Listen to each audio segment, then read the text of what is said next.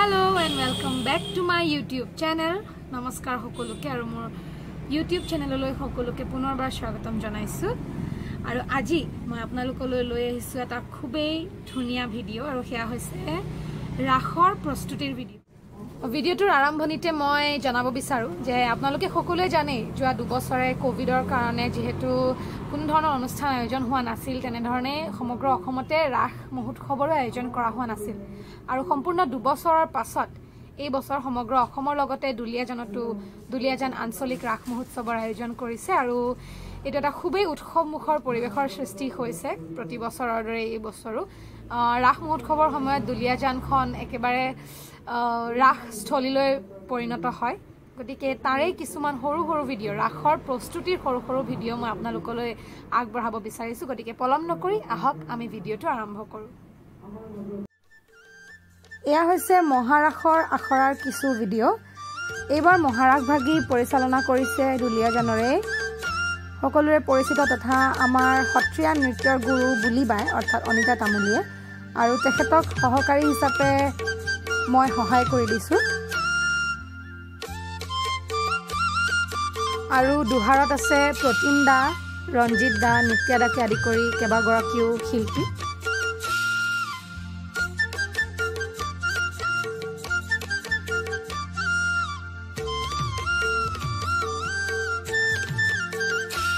দুলীয়াজান আঞ্চলিক ৰাস মহোৎসৱখনি অহা ওঠৰ আৰু ঊনৈছ নৱেম্বৰ তাৰিখে আয়োজন কৰা হৈছে। গতিকে মই সমূহ ৰাইজৰ উপস্থিতি কামনা কৰিছোঁ।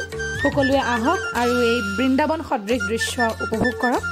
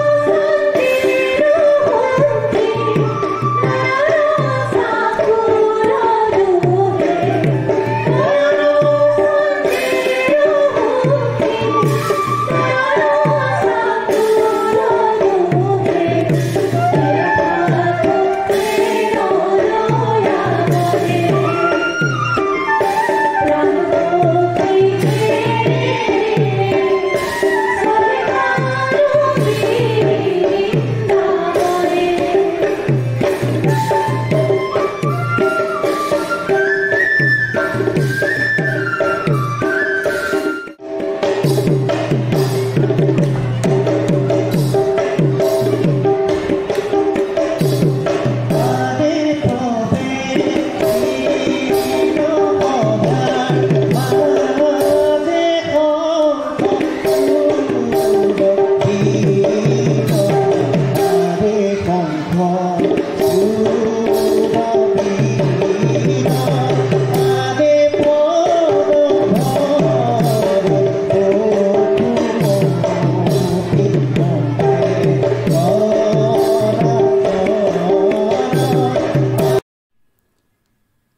এয়া হৈছে ৰাসৰ শিশুলীলাৰ কিছু দৃশ্যাংশ।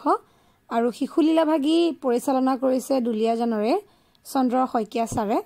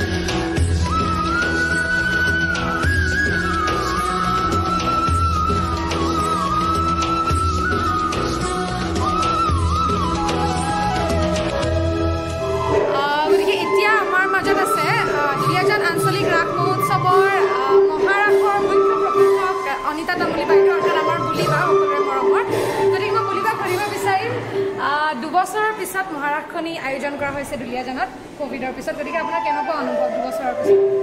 যিহেতু ৰাস বুলি ক'লে ভাল লাগে আজি দুবছৰ দিন ৰাস ক'ভিড মহামাৰীত কৰিব পৰা নহৈছে গোটেই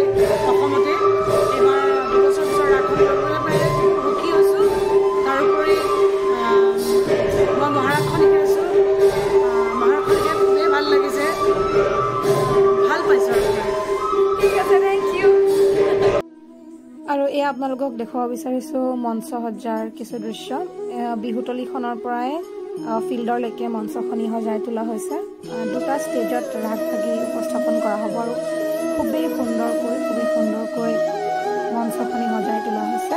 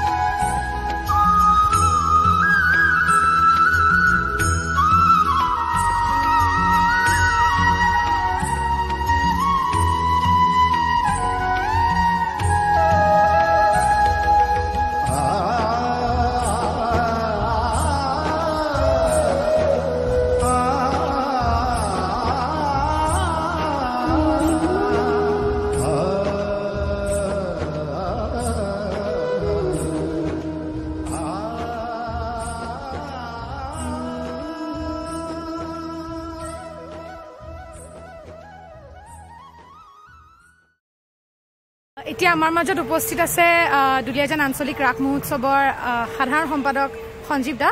গতিকে মই সঞ্জীৱ দাক সুধিব বিচাৰিম দুবছৰৰ পাছত সম্পূৰ্ণ দুবছৰৰ পাছত ৰাস মহোৎসৱখনি আয়োজন কৰা হৈছে। গতিকে কেনেকুৱা ধৰণৰ অনুভৱ আৰু এজ এ ছেক্ৰেটাৰী কেনেকুৱা ধৰণৰ লাগিছে? কেনেকুৱা লাগিছে? ধন্যবাদ। দুলীয়াজান আঞ্চলিক ৰাসখনত এটা মহত্ব আছে। গোটেই দুলীয়াজানৰ চাৰিও দিশৰ সমূহ ছাত্ৰ ছাত্ৰী একত্ৰিত হৈ প্ৰায় এমাহজোৰা প্ৰচেষ্টাৰ প্ৰেক্টিছৰ অন্তত এই ৰাসখন আমি ইয়াত উপস্থাপন কৰোঁ। আমি যথেষ্ট কষ্ট হয় এমাহজোৰা প্ৰেক্টিছ এমাহজোৰা নাটকৰ প্ৰেক্টিছ ল'ৰা ছোৱালী সকলো গোটেই এৰেঞ্জমেণ্ট কৰি।